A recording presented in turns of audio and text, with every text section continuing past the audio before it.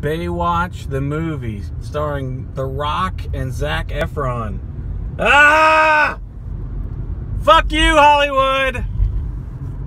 You are officially out of ideas. It's like, how can we make this? Yeah, bitch, just run across the road. How can we make this the most unattractive, unwanna-watchable movie ever? Baywatch the movie with the fucking Rock and Zac Efron. Who's gonna be the hot chick? Britney Spears? Who's the dumb bitch of the day? Paris Hilton? I don't even know. Ah.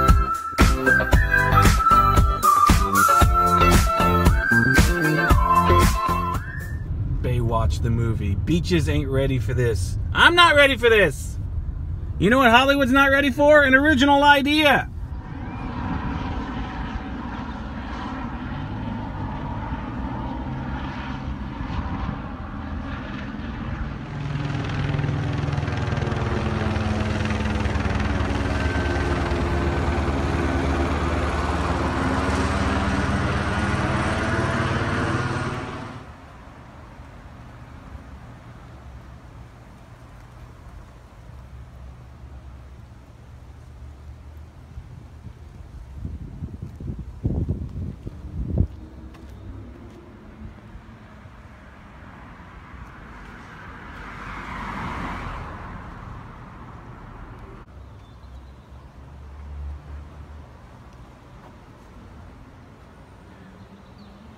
That's weird. This is Hollywood Boulevard right up here.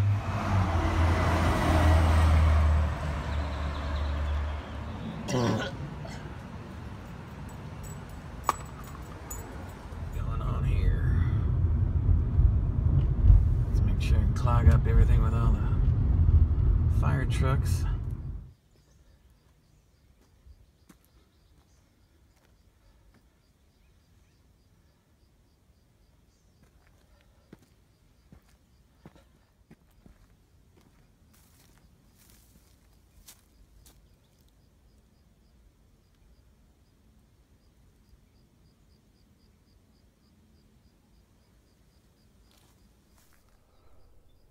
I don't know for sure, but I think that this tree behind me in this little hill is the hill that you see at the beginning of the show, Little House on the Prairie.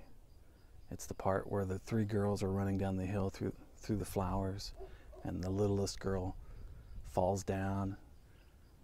You know, and they introduce you to all of them half pint, and the the one that goes blind, and uh, the little one that was played by twins. I think this is I think this is the tree. It looks different because they've got other trees planted around it. But this is in Topanga State Park. I always thought that was such a beautiful opening to a TV show where those three little girls are running down the hill, falling through the flowers. Not that they were falling, but that they were running down through this little beautiful field. And I always wanted to see it. And I, I believe this is it. I'm not exactly sure. It's funny because I'm here on a weekend when there's a lot of families out here. And this hill always represented this wonderful family show and this wonderful family moment where Michael Landon and his wife are sitting on the wagon watching their three little daughters run down the hill and they're laughing and it's so cute. You know, I always thought that was such a wonderful family image. And yet, as I'm here, it's taken me an hour to film this because there's so many fucking families running around making noise and screaming. In fact, there was a kid just over here just a minute ago screaming. What is it with kids screaming today? Kids just scream. They scream all the fucking time. Don't their parents ever say, hey, enough with the fucking screaming? Anyway, it's a beautiful day. I really want to go run through this field. Should I do it?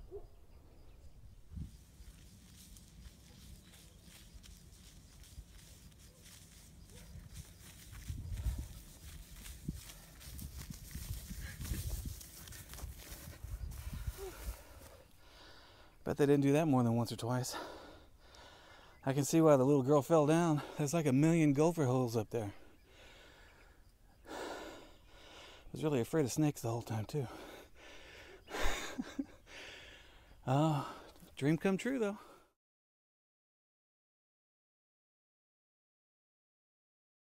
That's one of the great things about living in Southern California is if you're like me and you grew up watching all these TV shows and you always wanted your life to be like that.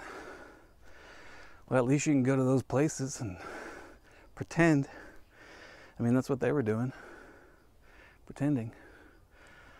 Oh, I'm too old for this. Never saw lizards like that on Little House on the Prairie.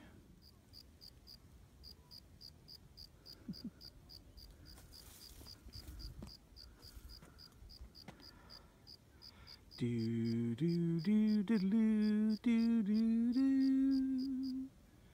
do do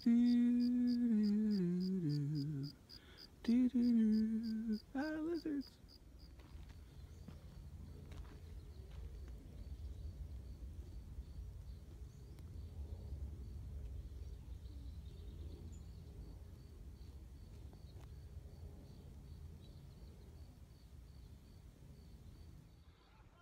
I like this park. You can walk right up to deer.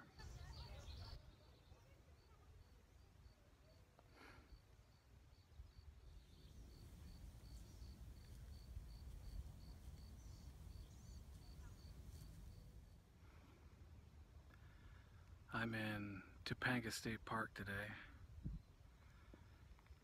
Beautiful day. Every direction. It's awesome.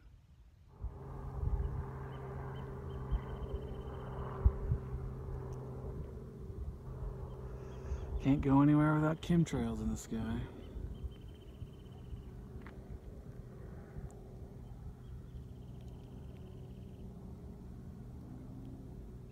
My girlfriend didn't want to come with me today. Because every time we go out on one of our little adventures, we get into big arguments and start screaming at each other.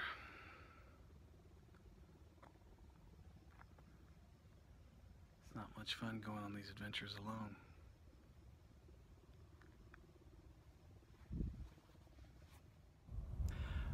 My girlfriend, I tell you, she never passes up an opportunity to complain. Her attitude towards complaining is, you miss 100% of the shots you don't take.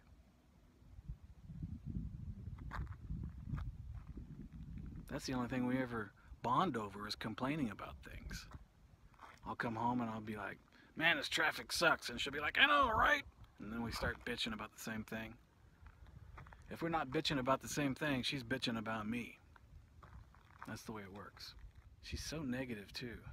The other night we got into a fight where I was trying to tell her that she was being negative, and she disagreed with me. You know how some people say, yeah, no? Well, she invented no, yeah, and no, no. My ex-girlfriend was kind of a big girl. She shopped at Freighter Joe's. I remember the first time I ever laid eyes on her. I walked into her room, and out of the corner of my eye, I thought I saw these three fat chicks, but it was just her. Watching a beautiful sunset, and I saw this. Stop Trump. See, this type of uh, vandalism is exactly the type of stuff that makes Trump supporters think they're on the right side. Not doing any good here, fellas.